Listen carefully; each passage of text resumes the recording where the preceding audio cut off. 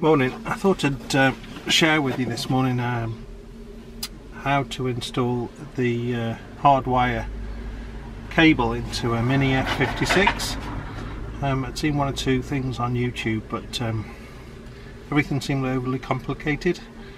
Um, this is basically straightforward with um, a hardwire kit, a piggyback connector, um, this one just make sure you get the right one. Uh, there are two options out there and that was the, the one I got wrong first. You'll notice that the uh, connectors are uh, wrong on this one. This is the right one for this mini BMW and some just some basic uh, trim tools um, things like that and a bit of a coat wire long coat wire. I'll show you in a moment.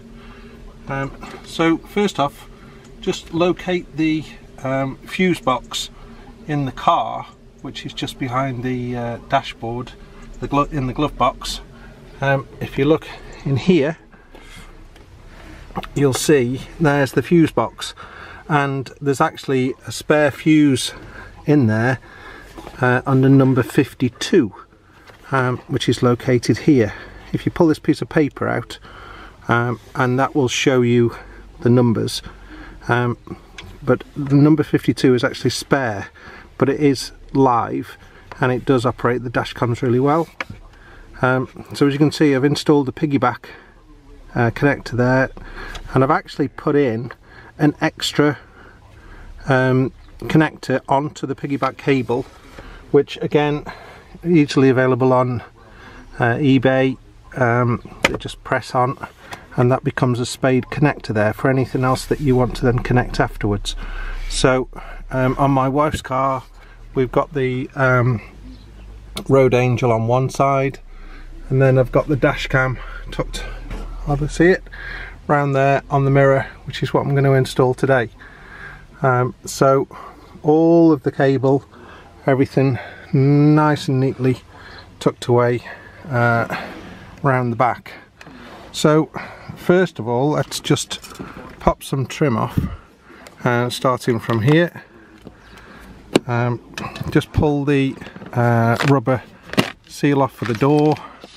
Um, this comes away nice and easy. There's nothing uh, major about that. And then just pop this trim off here. You'll see it comes away pretty easy.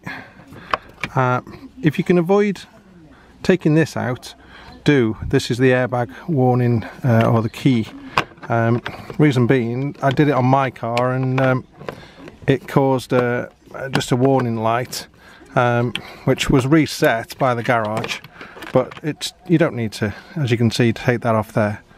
Um, so what we're going to do is access the fuse box from here um, and that's as much trim removal as you need to do using your long wire here. Um, basically insert this through the gap and you'll see that that then pops out. Just feed it down and it will come out at the fuse box there. So what I'm going to do is take the positive cable of my new hardwire kit. Um, attach it to the end of this coat hanger bit uh, and just feed it through pop it onto the uh, connector of the piggyback wire and um, then the the earth cable um, I've used the this nut here based on the car and that gives a really lovely earth um, for the negative. Um, and as you can see for the hard wire that's already in there uh, that's working the angel um, that's then just tucked away nice and neatly behind the uh, dashboard there. And then the actual cable here um, just simply runs up round the edge of the trim across the top here and then neatly tucked under the trim of the roof lining. So there's absolutely nothing shown at all there. So um, I'll do that and then um, I'll come back in a moment but hope that helps. Okay so here we are. Um, I've now got the um, positive of the new hardwire cable uh, on the coat hanger thing and um, fed it through. Um, pull that off pull that through. Um, just the thought actually if you can't see the uh, where to put the coat hanger um, just shine a torch in here and um, you'll either see the reflection or you can actually from here see the um, number five uh, row of number five fuses 5 amp fuses in there so um, connect up the the cable um, and um, just pop that onto the spare connector. I've inadvertently pulled off the uh, the piggyback which um, isn't helpful. Um, so it's no big deal. Just um, probably with a torch. Have a look down. You'll see F52 which is actually in between two of the fuses uh, and it just pops back on. So it's as easy as that really. Um, so you can see run you over you can see now that uh, zoom in a bit for you. Um, so you can see everything's connected in there and um, I'm just going to connect the earth up on this bolt like I showed you like we talked about uh, here. Um, now that is a 13 mil uh, nut. So um, if you've got a socket set or a, or a screwdriver or a, a spanner set rather um, it's actually uh, pretty straightforward. Um, and that just fits on there nicely. Um, so again I'll just do that and then uh, we'll get this finished off and tidied up. Okay. So let's put the uh, negative on here. Everything like I said before is tucked away so um, that's the negative on there. Tighten that one up.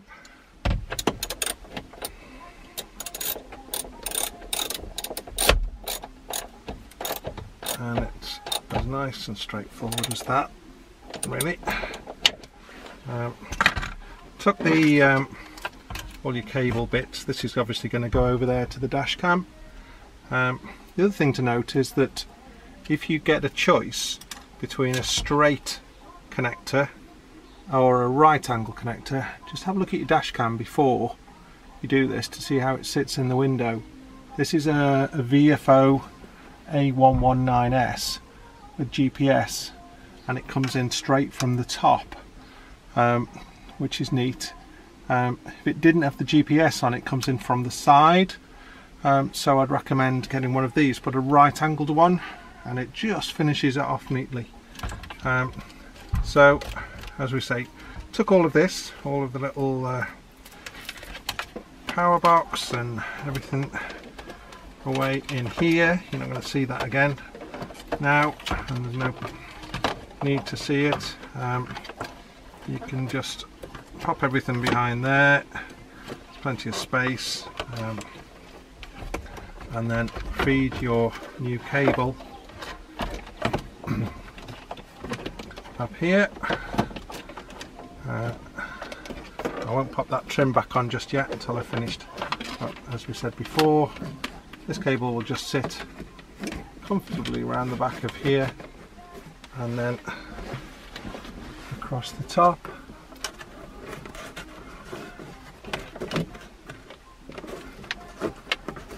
Just use your uh, trim tool if necessary to uh, apologies if this is a bit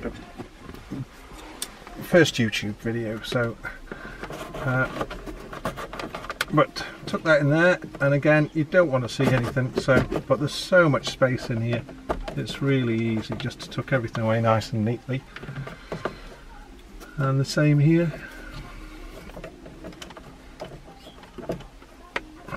this one just sits in front of the trim and then behind the ceiling one. So give yourself plenty of cable up there. Finish this off in a, better in a moment, and then that one can just go tuck into that corner. I hate seeing cables, which is why I go to the trouble of seeing getting this tucked out of the way and just pop that around the back of there. There we go. Marvellous. Gone. So that can go straight across over to the dash cam. Um, and then we'll just uh, what I might do actually is just get a little tie wrap or something for this little box otherwise could be some vibration there. So I'll go and get a little tie wrap and then we'll just tidy that and tie that off somewhere against one of these panels just to keep that nice and tight. Okay? Um, I th think that's everything for now. Just put all the trim back on pop everything back on when you've finished and um, it shouldn't take you really that long but um, probably first time around you're a bit taking your time but um, it should work and it works very well with the cameras and uh, the dash cam. Okay cheers bye. Okay just um, finished off here so we'll just uh, I'll show you where trim's gone back on. Um, all nice and neat. Um, just be careful when you're putting this back on. It takes a little bit of just lining things up but it should then pop on here. And like so and as you can see cables all tucked away around the back there. And then push your door trim back in so you can't see anything. Get that back on. Snug fit. Just pops back on basically and line it up if you need be give it a nudge. There we are. How neat is that? And then fuse box in there. Just tuck everything in out of the way. Keep that stop that from popping out. So all tucked away nice and neatly there. And then get your fuse cover that you took off originally. And here it is.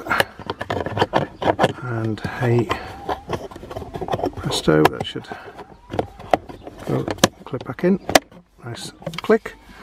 And then we've got the again all the cable tucked away all the way along the roof lining. And then as you can see from here there's the GPS module for the camera. Um, I'll start the engine up so you can see it working. And uh, I'll come back again so there you go. So the camera's beeping at the moment telling me telling me off basically. I haven't put a, a card in it yet but um, uh, there it is working away nicely. And um, that's discreet nice and tucked behind the mirror. Um, if I turn the ignition off then um, it'll turn the power supply off. And it should power down there we go switches off. So you don't need to fiddle with it. As soon as you get in the car turn the ignition on it comes on. Turn the ignition off it goes off. Um, just depends on the settings of course of these things. But um, that's nice and uh, neat tucked away behind there as you can see. So um, that's the end of this. If you've got any questions just drop me a line. But um, I hope that helps. Cheers. Bye